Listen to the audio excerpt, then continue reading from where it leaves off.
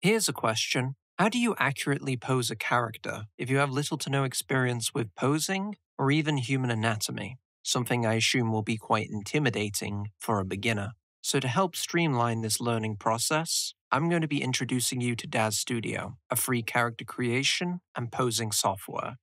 If you haven't yet installed Daz Studio, then luckily for you, I've already made a tutorial on how to install and set it up.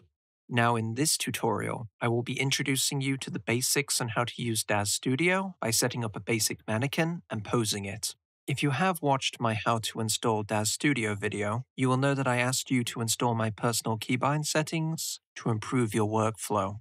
Now let's talk about why we're using this software in the first place. The main reason why I've chosen to introduce you to Daz is due to one factor, which is that Daz's character models are extremely advanced and well rigged. Every character is equipped with inverse kinematics, or IK for short, which means if you click on one of these hands and drag it forward, you will see that the character is pulled forward with that hand. Daz's rigs are also equipped with joint limitations. For example, if you bend this character's arm backwards, you will see that the joint limitations are preventing his arm from moving too far back. And this basically makes it really difficult for you to make an unrealistic pose.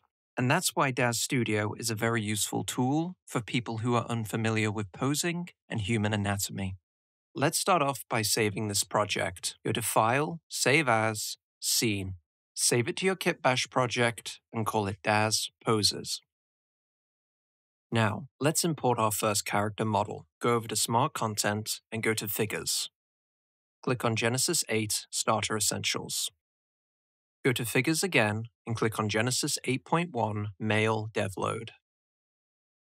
Next up, go up to Create, New Primitive, select the drop down menu, and select Plane. This will give us some ground to stand on.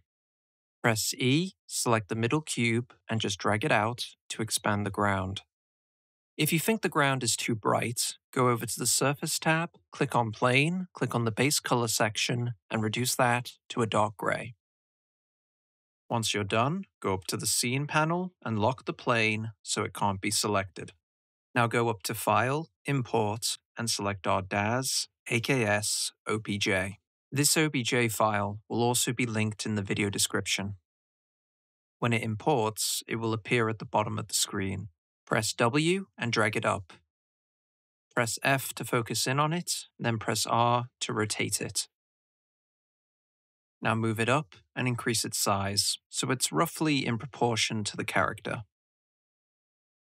You may notice that the AK is a bit too bright. To fix this, go to Surface, select this drop down menu, select all the materials, then go to Color and darken it. If you don't like how shiny the AK is, go over to Glossy Layered Weight and set that to zero. You can also do this for the character as well. Now, let's equip this character. Pull his hand up and then move it forward.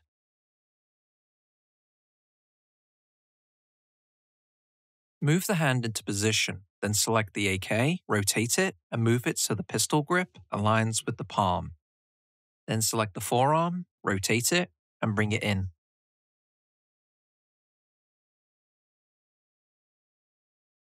Move the AK so it rests between the thumb and the index finger. Now, to make this hand grasp the AK, we need to first select the right hand's palm and then come over to the posing panel. Click right hand. This will give you a menu of the different poses. Find right finger's grasp, select that slider, then drag it to the right, and the hand will do a grab pose. Move the AK so it better fits the hand.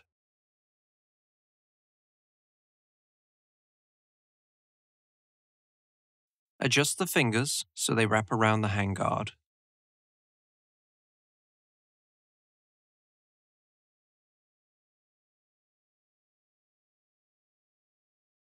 Grab the index finger and unfold it so he has good trigger discipline.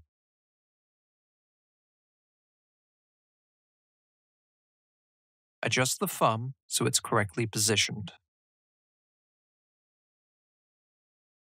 Now that the character is grasping the AK, we now need to parent it to the right hand. There are a couple of ways to do this.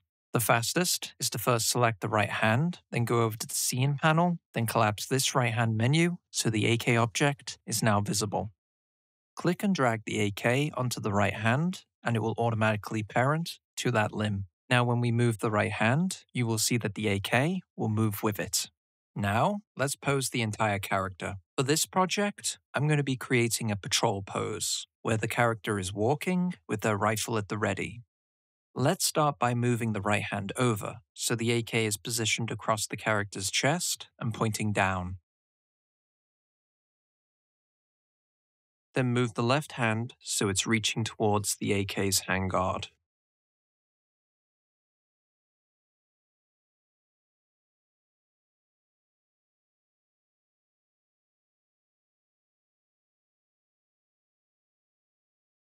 Now again, use the grasp slider to make the left hand grip the handguard. Rotate the head to the left so it's looking in the direction of where the weapon is pointing. Now to pose the left hand, we'll need some reference images. These will help us understand how someone would naturally grasp the AK's handguard. You can find these images in the video description below.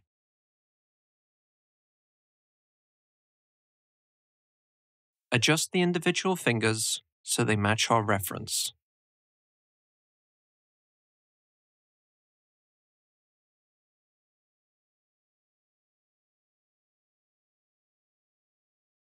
Now we have a good torso pose, we need to now give the character's legs a walking pose. There are a few ways to do this. We could pose it manually, or we could use a preset pose. Go to the Starter Content tab, and then go to Poses. There, you will find a list of character poses that come free with Genesis 8. Select the pelvis. Right click, then click on Select Children. That will select all the leg bones which are connected to the pelvis. Go over to the Pose tab, hold Control, and then select Base Pose Walking C. A menu will appear. Go up to the Nodes tab and change that to Selected. Then press Accept that will apply a partial pose to the character. If you find that he's hovering above the ground, double click to select the entire character and then move him down so his feet touch the floor. We now need to set up this project, so later on we can import this pose into Blender.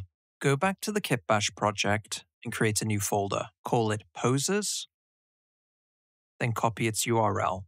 Go back to Daz, select the entire character, go to File, Save As, and then select Pose Presets. Use the copied URL to navigate back to the Pose folder. Then save this pose as Walking Patrol Pose. To reset the character, first select him, then click on this T-pose icon down here. Select Restore Figure Pose. And with that, this concludes my tutorial on posing in Daz Studio. In the next video, I'm going to be showing you how to import this patrol pose into Blender using a little tool called Diffeomorphic.